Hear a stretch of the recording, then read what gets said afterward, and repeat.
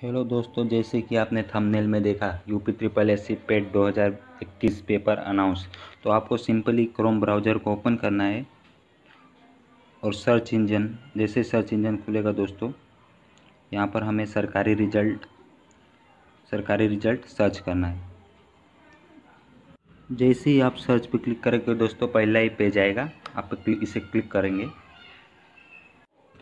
Click करते ही मन दोस्तों हमें एडमिट कार्ड के सेक्शन के पहले पेज पे दिख रहा होगा UP triple S C PET exam date to twenty twenty twenty one ठीक है दोस्तों, इस पर हमें क्लिक करना है।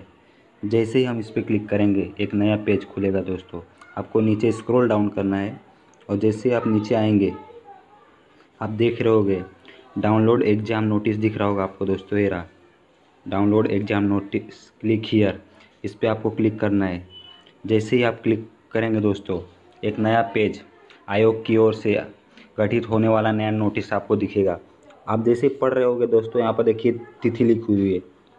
बीस अगस्त 2021 शुक्रवार को दो शिफ्ट में मतलब ये पेपर दो शिफ्ट में होना तय है दोस्तों। और दोस्तों, दरअसल चालीस लाख पचास हज़ार वैकेंसी के लिए पेपर होना तय है दोस्तों। ठीक है दोस्तों, थैंक यू।